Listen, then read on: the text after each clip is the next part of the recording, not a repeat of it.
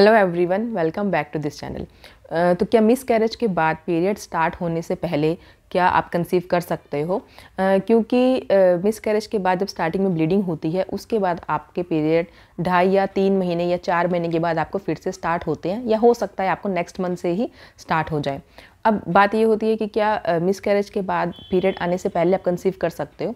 तो इसका आंसर है येस आप कंसीव कर सकते हो क्योंकि प्रेगनेंसी होने के लिए या कंसीव करने के लिए ओवुलेशन होना ज़रूरी है। और ओवुलेशन आपको पीरियड से पहले होता है।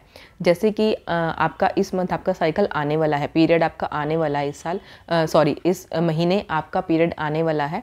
तो पीरियड आने से चौदह दिन पहले आप ओवुलेट करती हैं, यानी कि ओवुलेशन होता है।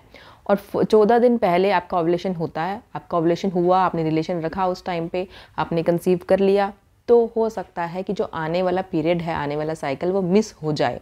और आप ये सोच के बैठो कि हाँ अभी मिस कैरेज के बाद पीरियड दोबारा से स्टार्ट नहीं हुआ है तो मैं कंसीव कैसे कर सकती हूँ? एक्चुअल में ऑवलेशन हो गया है, आपने कंसीव कर लिया है तो वो पीरियड मिस हो गया है। तो आ, हो सकता है आपको उस टाइम पर जो भी प्रेगनेंसी सिम्टम्स दिखें उसको भी आप थोड़ा कन्फ्यूज़ कर जाओ या आप थोड़ा उसको नेगलेक्ट कर दो कि मिस कैरेज के बाद ये सब सिम्टम्स हो रहे हैं।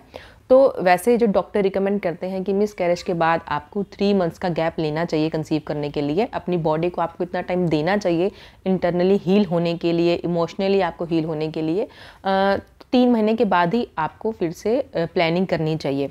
बट येस अगर आपका मिस कैरेज के बाद पीरियड अभी तक स्टार्ट नहीं हुआ है, लेकिन आप कंसीव कर सकते हो, क्योंकि जब आप ओवलेट करते हो, जब आपका ओवलेशन होता है, उसके फोर्टीन डे पर आपको पीरियड आता है। इसलिए कहा जाता है कि अगर आपको मिस कैरेज के दो महीने बाद भी पीरियड स्टार्ट नहीं होता है, तब आपको डॉक्टर से कंसल्ट कर लेना चाहिए। और अगर आप रिलेशन में हो, अगर आपको कुछ भी ऐसे सिम्टम्स लगते हैं नोज़िया है वीकनेस है तो आपको प्रेगनेंसी टेस्ट भी कर लेना चाहिए।